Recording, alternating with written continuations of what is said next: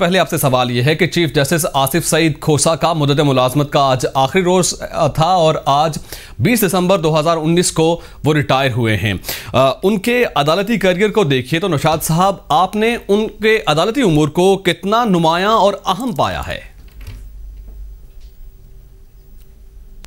دیکھیے جسٹس کھوسا جو ہیں، ان کے جو ایک بہت بڑا جو ان کے، آپ سمجھتے ہیں، کریڈٹ پہ جو چیز ہے، وہ ہے از خود نوٹس سے متعلق جو انہوں نے کہا تھا کہ وہ یہ، وہ پسند نہیں کرتے یہ از خود نوٹس لیے جانا۔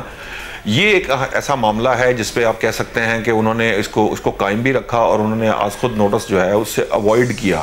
حالانکہ اس سے قبل جو ہے وہ آج خود نوٹس آپ کو یاد ہوگا کہ بعد بے بعد آج خود نوٹس ہوتے تھے اور شاید بہت زیادہ اس کو پذیرائی بھی نہیں تھی عوامی حلقوں میں بھی۔ تو یہ ایک بڑی میجر چیزیں رہیں۔ باقی جہاں تک آپ اس کے علاوہ جو جوڈیشری کی ایکٹیویزم کی بات کر لیں آپ یوں یوں سمجھیے کہ دیکھیے انہوں نے کچھ نئی ڈائمنشنز جو ہیں وہ جوڈیشری میں انٹروڈیوس کریں جس میں دو بڑی چیزیں تھیں۔ ایک سب سے پہلے جو امپورٹنٹ تھا وہ یہ تھا کہ انہوں نے ملٹی میڈیا کا استعمال شروع کیا۔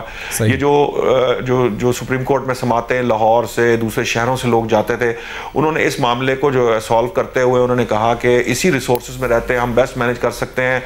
ایسے کہ جو جو وکلا ہیں، وہ اپنی ریلیونٹ کورٹس کے اندر پیش ہوں اور ہم ان کو جو ملٹی میڈیا کے تھرو ان کو سپریم کورٹ میں لے کے انہوں نے کیسز سنوائے۔ تو یہ ایک ٹرینڈ ایسا ہے جس سے آنے والے وقت کے اندر آپ دیکھیے گا، ایک ٹائم وقت آئے گا، شاید آلموسٹ ساری سماعتیں جو ہیں، جس میں ضرورت پڑتی ہے باہر سے لوگوں کو آنے کی، کراچی سے، لاہور سے اور مختلف شہروں سے، وہ اس کے بغیر ہی سماعتیں ہوں گی اور وہ ججز جو ہیں، وہ اسلام آباد میں بیٹھے ہوں گے یا کہیں بھی بیٹھے ہوں گے۔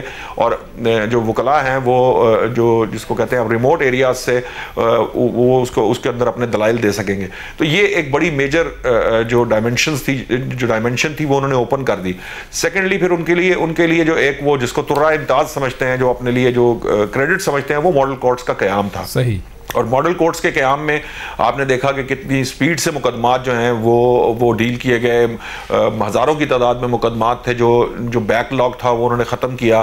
اور پھر اس کے ساتھ ساتھ انہوں نے ویب سائٹ کی جو اپ ڈیٹ کرنے کا جو سسٹم ہے اس کو ٹھیک کیا۔ انہوں نے موبائل اپلیکیشن بنوائی۔